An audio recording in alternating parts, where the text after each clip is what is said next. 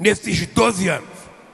Os trabalhadores sabem que não foi possível atender tudo, mas eles sabem que nunca foram tratados com a decência, com o respeito e com a dignidade com que nós tratamos os trabalhadores brasileiros.